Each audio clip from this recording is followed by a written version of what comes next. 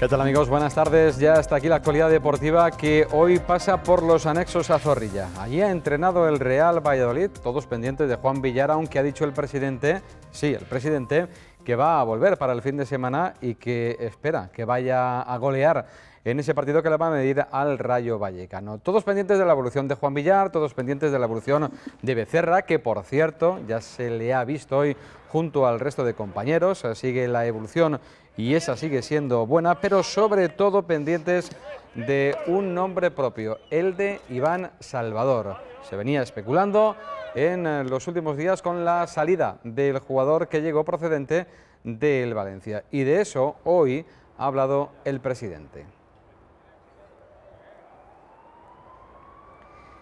El presidente que comparecía ante los medios de comunicación para eh, establecer y firmar un convenio de colaboración entre su principal patrocinador, Cuatro Rayas, eh, y el eh, club. Bueno, pues antes de abordar ese otro tema más social, de patrocinio, ha hablado también de lo deportivo y el nombre propio del día es Iván Salvador. Se marcha cedido hasta final de temporada, no hay opción de compra a Lucam Murcia. Jugará por lo tanto en la condomina hasta final de campaña. Por cierto, hay cláusula de miedo, no podrá jugar este mes próximo de febrero ante el Real Valladolid. Creo que es la opción mejor para, para el jugador, creo que es la opción mejor para, para nosotros, para que tenga una progresión y una adaptación a, a la Liga Española, con lo cual pensamos que debería quedarse por aquí. Aunque en contra de mi voluntad es bastante probable que lleve cláusula del miedo, pero me obliga mi entrenador y mi director deportivo. Nosotros estamos ahí con una operación que pensamos que puede llegar a cerrarse. Si no se hace, el resto de las operaciones que estamos planteando pensamos que no mejoran lo que tenemos y sobre todo cerramos el camino a alguien del B. Y todas estas declaraciones, como decimos, en la firma del convenio con el eh, principal patrocinador, con cuatro rayas, que vuelve a colaborar con el Real Valladolid y lo hace de forma decidida para las tres próximas eh, temporadas. Los responsables de cuatro rayas y los del Real Valladolid eh, lo firmaban ahí, donde hay que firmarlo, una buena botella de cuatro rayas.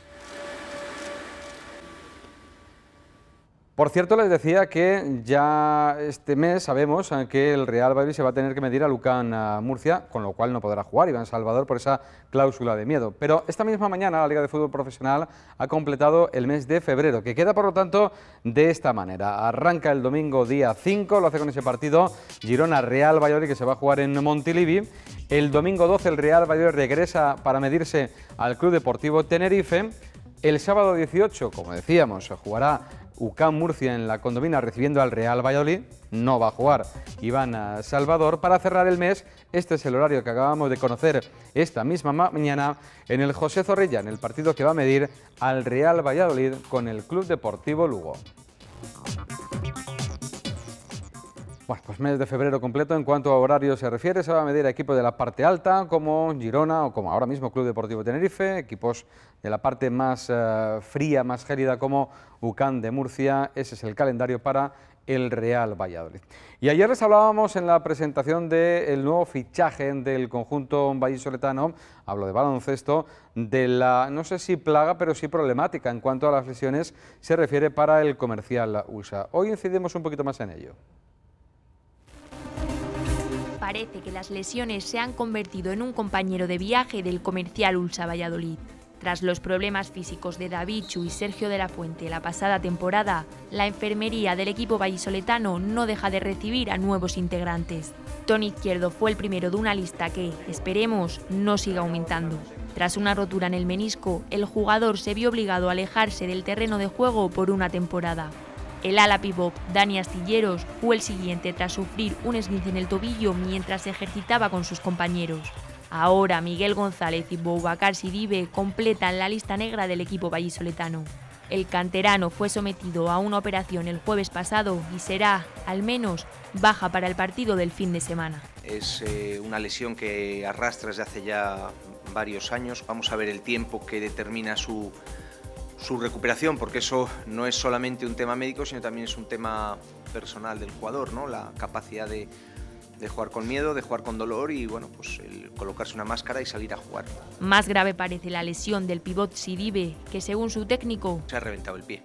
así de claro. Aún sin saber el alcance real de la lesión, porque estamos eh, con todo el protocolo médico de, de hacerle las pruebas pertinentes, pero todo apunta que es una lesión seria, es una lesión fea y es una lesión grave. Con todo ello, el equipo viajará a Zamora el próximo sábado e intentará, por todos los medios, sumar una nueva victoria fuera de casa.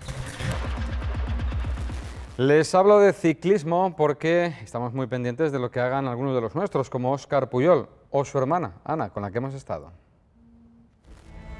Solemos emplear un refrán castellano, de casta le viene al galgo, para referirnos a una persona que ha heredado una cualidad concreta de sus progenitores. En Valladolid, el apellido Puyol es sinónimo de ciclismo y a sus 26 años, Ana Puyol ha cumplido el sueño de convertirse en ciclista profesional gracias a la oferta del Vizcaya Durango. En España solo hay dos equipos profesionales y pues poder formar parte de uno de ellos es algo muy, no sé, muy especial. Hasta ahora había tenido apariciones esporádicas en el ciclismo de competición.